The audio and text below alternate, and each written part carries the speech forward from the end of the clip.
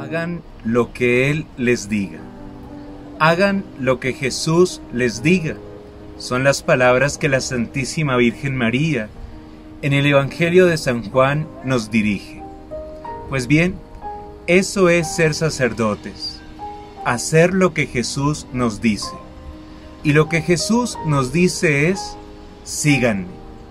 Seguir a Jesús es imitarlo. Significa ser imágenes vivas de su presencia. Queridos jóvenes, hoy nuestra ciudad necesita de personas, hombres y mujeres, que quieran amar como Jesús nos ha amado. Atrevámonos, sigámoslo, imitémoslo, sé sacerdote.